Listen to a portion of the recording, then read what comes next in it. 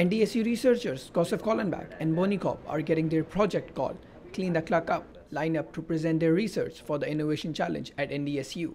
We've been working with uh, what's called supercritical carbon dioxide extraction and corn. And so our project kind of just came through trial and error and we discovered that inside of corn there are things called uh, carotenoids. Boni believes it might have a great impact on the corn market.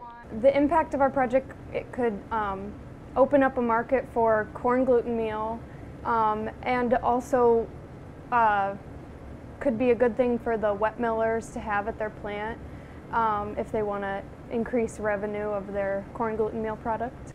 The wet milling facility at Wahpeton gave them the corn gluten sample for the research purpose. The corn gluten meal has a yellow color and can be used as a food color. She says it will help the growing corn industry.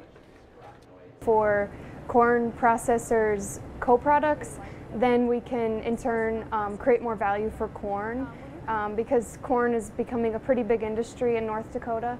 Um, so I guess that's where we saw the value, especially because the extract that we're going to be creating is um, is valuable now and uh, it grows in value year by year. So they use CO2, which is safe and completely and removes the solvent from the sample, because solvent is not good for food purpose. They are trying to get more of the color output by using different methods. Our proposal is to use an enzyme to break down those proteins and it releases the colors and, and in doing so that we can uh, extract more color, more carotenoids and more value out of this project. Use of CO2 might make North Dakota and rest of the world a better and a safer place in regards to making food color.